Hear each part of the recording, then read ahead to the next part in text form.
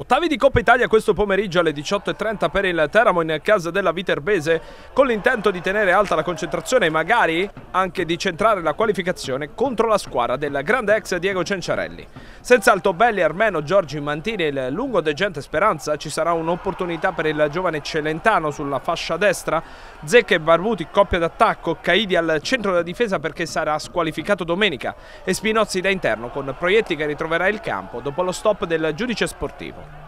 che insomma fare, abbiamo esigenza di fare i conti con alcuni,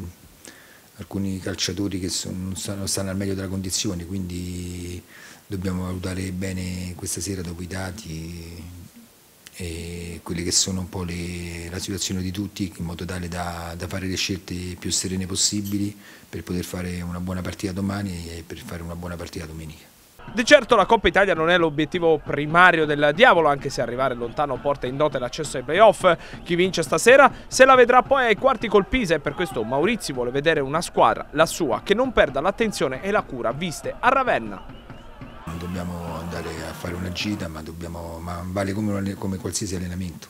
Dobbiamo rimanere sempre concentrati su, sul nostro obiettivo. Ormai sappiamo che, eh, che restano 10 partite eh, di campionato più la Coppa Italia e sappiamo che possiamo che fare bene dipende da noi e quindi dobbiamo rimanere concentrati sull'obiettivo la Coppa Italia deve essere vista come un progresso nella crescita della squadra e proprio dell'autostima e de, dell'attenzione.